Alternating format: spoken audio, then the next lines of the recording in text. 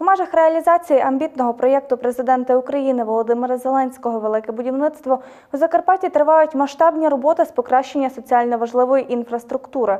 Завдяки національній програмі в області активно відновлюють автошляхи.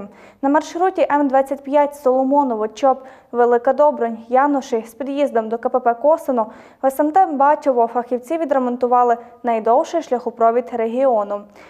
Як зазначають у службі автомобільних доріг у Закарпатській області, тут підрядна організація замінила монолітні бетонні плити, арматурну сітку, уклала нове асфальтобетонне покриття, облаштувала бар'єрне і перильне огородження та виконала інші етапи, що сприятимуть надійності конструкції.